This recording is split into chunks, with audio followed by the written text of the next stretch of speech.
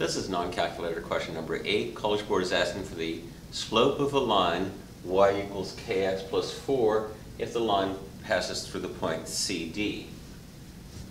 Given the equation y equals kx plus 4, if x equals 0, we get y equals 0k plus 4, y equals 4.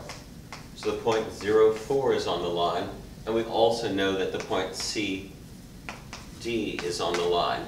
With two points, we can find the slope, and they're asking for the slope. I notice none of the answers include k, so I chose x equals 0 so that my formula would not include k, where k is actually the slope. So the slope is y2 minus y1 over x2 minus x1. And if I make this y2 and this y1, I get 4 minus d over 0 minus c. Since the 4 went first in the numerator, the 0 goes first in the denominator. So my slope is 4 minus d over negative c, which does not match any of my choices.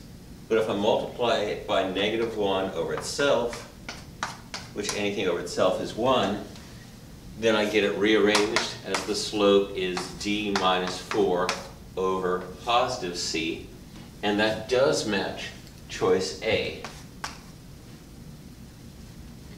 College Board often asks you to find the slope of a line with this sort of question, so practice with slope and come back soon for my next math video. With math, there's always more.